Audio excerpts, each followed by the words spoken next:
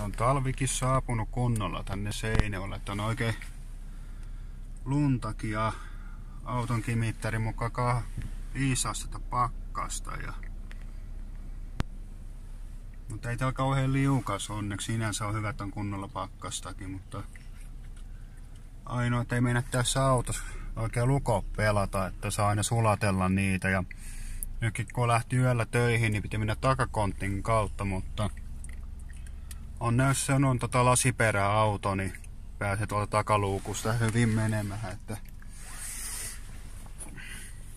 että ei ole siinä onneksi ollut mitään probleemaa.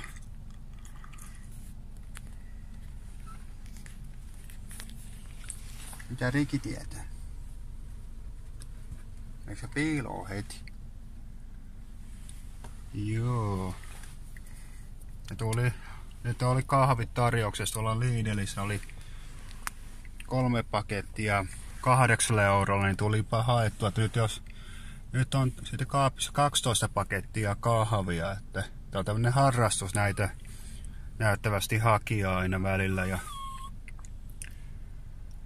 ihmetellä sitten.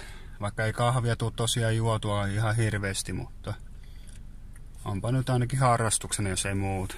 Eipä tässä muut. Ja hyvää viikonloppua kaikille.